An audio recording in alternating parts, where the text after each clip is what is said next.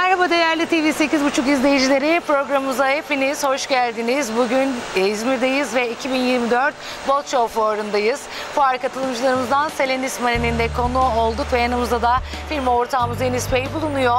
Bakalım bizlere hem sektörle hem de firmayla alakalı neler aktaracak. Şimdi kendilerinden dinleyeceğiz.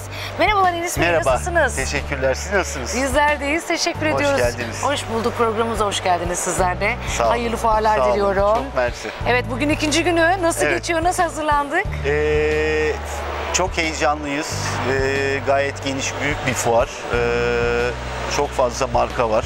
Evet. Biz de e, farklılıklarımızla burada olmak istedik.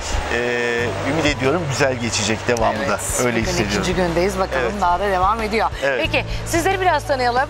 Tabii biz e, Selenis Marin olarak 2016 yılında kurulmuş bir firmayız. Kompozit sektöründe e, faaliyet gösteren bir firma iken işimizi çok çeşitlendirerek e, aynı ürün gamında olan tekne sektörüne de giriş yaptık.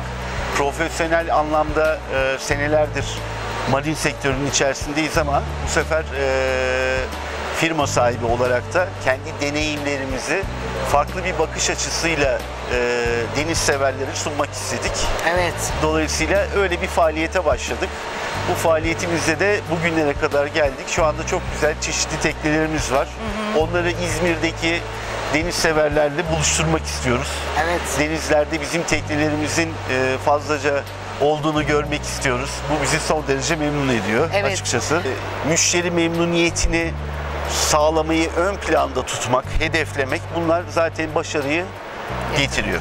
Getiriyor. Evet. Peki tekne severlere ve izleyicilerimize neler söylemek istiyorsunuz burada? E, fuarımıza bekliyoruz, standımıza ziyaretlerinizi bekliyoruz bütün deniz severlere. Burada ağırlamaktan memnuniyet duyacağız. Peki biz de sizlere hayırlı fuarlar dileyelim. Sağ olun, çok mersi. Ve beraber ekrana veda edelim.